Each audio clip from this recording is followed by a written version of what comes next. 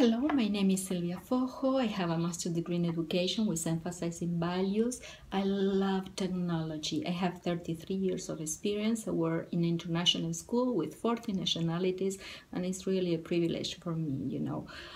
I love technology. I can say that. I have the opportunity to become a, a smart disability educator last year, so I began to implement a smart amp, you know. Uh, I follow the flipped classroom model. It's really fantastic. I believe that the students should do the hard work in class. So I send them a video, a short video of five or six minutes, and they come to class and they work in the smart amp. The smart amp is a workspace. I create that workspace with many stations and I uh, distribute the students. I have 22 in each station. So the one in the front will work with the one at the back and also with the one that is at home that perhaps is six. It's really fantastic. So you feel they enjoy it, they love it. They have to work with the book open, they study in the class and I always give them three questions, you know. For example, in the biomes, I said, well, you have to location, you have to know location animals, and vegetations.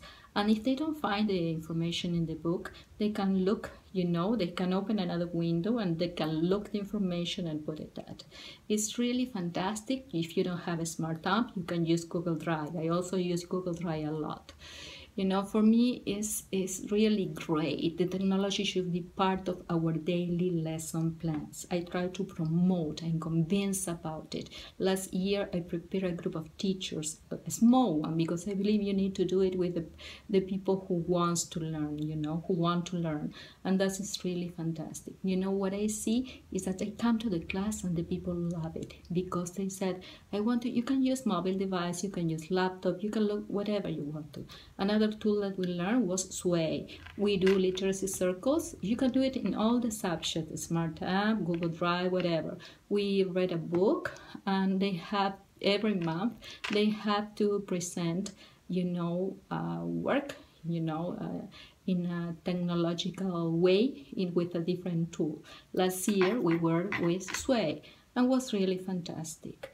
Um, what can I tell you? I believe nowadays teachers, we educators, we have a great responsibility.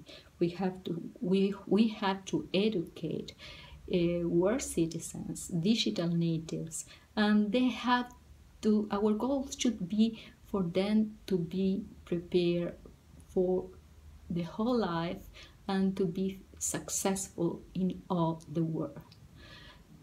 Professional development nowadays is free. You can do it.